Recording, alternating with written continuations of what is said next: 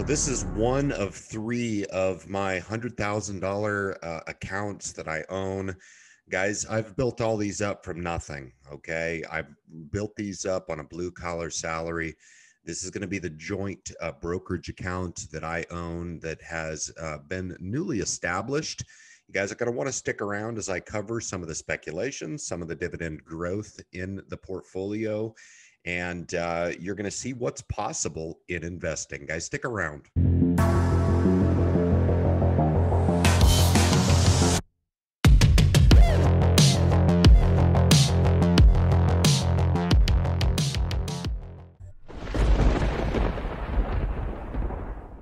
So I roll these uh, portfolio reviews out periodically with a couple different intents, and I think for new investors that uh, are interested in investing, but they don't know how to start and they don't even understand maybe what is possible in investing.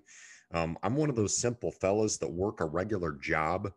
So I think it resonates with a lot of people, and people can sit back and be like, wow, if this guy can do it, so can I. And that's absolutely the message that I want to put through. And these are big numbers that we're working with, guys, but make no mistake about it, man. I started these accounts with zero.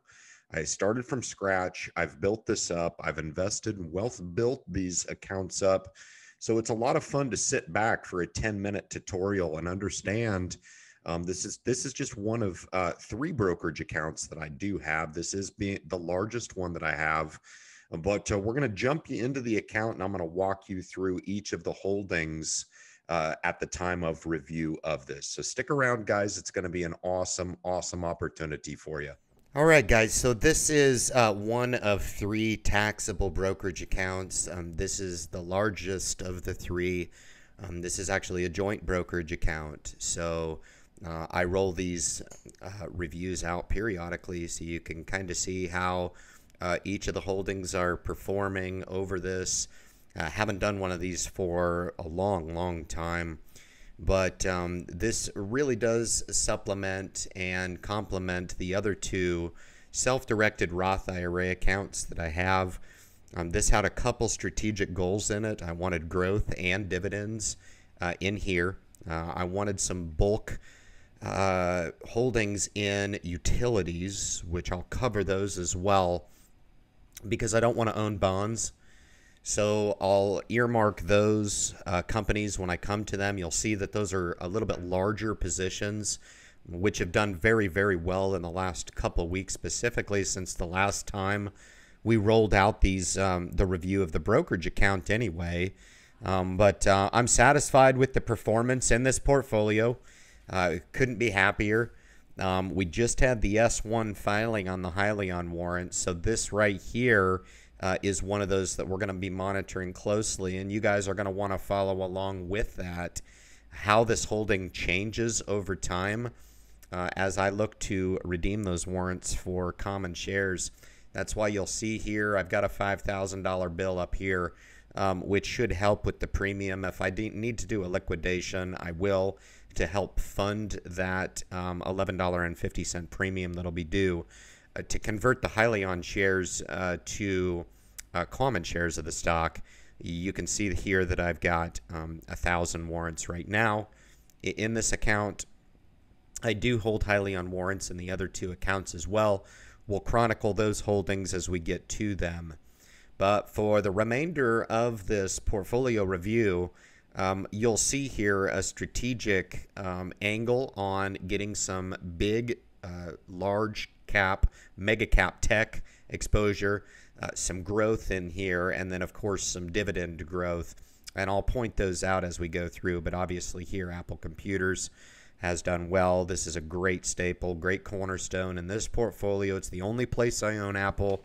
It's one of those stocks that are nice to just buy and hold and never sell and uh, 50 share position here is is nice and appropriate for what I'm trying to do in this portfolio, and that's give myself a nice compliment to the other uh, to the other accounts that I have, uh, and maybe um, hold some stuff in here that I don't want to own in the other accounts, and then Amazon as well, two whole shares with a, a whopping sixty four hundred dollars in those two shares of Amazon really glad to own this company.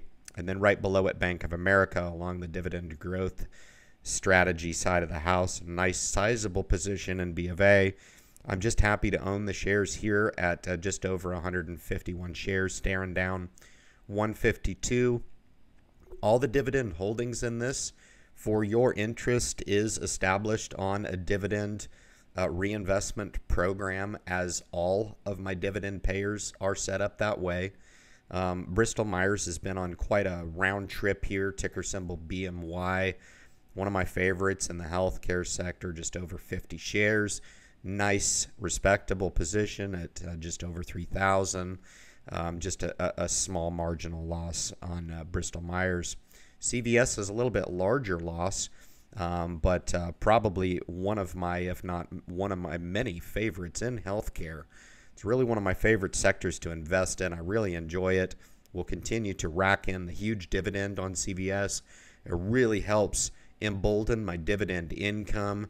We're off just a few bits. We were up initially in the position, and it's Taylor traced back a bit. It has retraced, and that that's fine. I worry not about this. It fits really nicely into this as I've got some of the big pharma within the Roths. And so this this just fits nicely into this aspect of the taxable brokerage. And then what I was talking about with the utilities holdings, Duke really does anchor my desire to have some a, specific holdings in uh, the utilities. Now, I do own the specialty ETF from Vanguard for utilities within the Roth IRA. You will see that in there when I chronicle those holdings. But this really does give me a couple strategic advantages. Number one, it pays a 4% yield. It gives me the shot at some capital appreciation. Now, Duke Energy just last month was down maybe $1,200. So it has swung significantly to the um, to the positive, up five percent. I just cannot tell you how how incredible this is to meet both of those because not only am I getting a nice dividend reinvestment here in Duke Energy, I've got a fairly sizable position in the company. And again, it does supplement for my desire not to own bonds and to own something a little bit more stable, which I think regula- regulated utilities fit that bill for me and up close to 600 bucks. I just cannot scoff at this. This is, is doing exactly what I wanted it to do and then some. So couldn't be more pleased with that position. Uh, Facebook here speaks for itself. Uh, size, uh, nice, uh, respectable position at 10 shares. Uh, no problem at all. Up marginally, close to five percent in the in the name. Uh, Facebook is a nice addition to this portfolio, and we'll continue to own Facebook long in here and and and continue to. Um, continue to enjoy what I think is one of the best growth and value stories at a very, very reasonable valuation here. Facebook really fits the bill um, for uh, how uh, impressive their balance sheet is. Uh, how much cash flow the company is bringing in. They, they are making money hand over fist. And uh, it's it's really tough to hold a portfolio as large as mine and not justify having at least a small position in Facebook, which 10 shares does represent um, that that small desire of mine to have a piece of the company. Next on the list in uh, defense, a subsector of uh, industrials, General Dynamics. We're off pretty significantly in these. The um, defense sector has been up and down pretty violently, to be honest with you. It's been interesting to monitor it. Um, and uh, we're, off a few bits. That's fine. Nice dividend yielder here. Um, we've got those uh, payments going back into the underlying stock, and we'll continue to own these. General Dynamics not going anywhere. We'll continue to own it long. And, then IBM here, um, which has really just been disappointing again. Um, I, I, don't know what to say here. You know, it'll continue to pay the nice dividend. Um, but but sooner or later, this is going to catch fire here in, in old tech. It it really does satisfy my desire to grab some higher than average dividend yield in this portfolio, and we'll continue to own it long. Lockheed Martin as well, off just like General Dynamics. real surprise here, but um, over time, Lockheed Martin is going to be one of those companies. This actually is a very large position. 20 shares in Lockheed is is nothing to shake a stick at. Uh, just over 7,500 in the name. Off 500, six bits, no big deal at all. we'll continue to own it long. MO, ticker symbol, Altria Group here. Uh, fairly nice position here. Another dividend, um, dividend uh, payer here. Uh, I believe Altria is a king for sure. So it's nice to have that uh, to the add to the bottom line of the yearly dividend income that I'm yielding uh, off of this stock four times per year. Microsoft again with the theme in big tech, uh, up a little tad, just over four uh, percent in the company. Um, Tortoise acquisition. This is uh, um, their number two offering. So I've got a little speculation play here.